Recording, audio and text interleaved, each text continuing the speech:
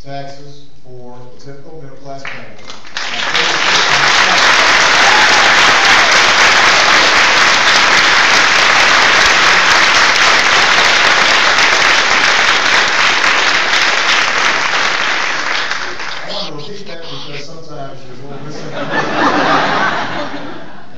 Confused about it.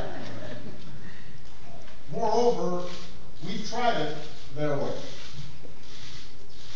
It didn't work.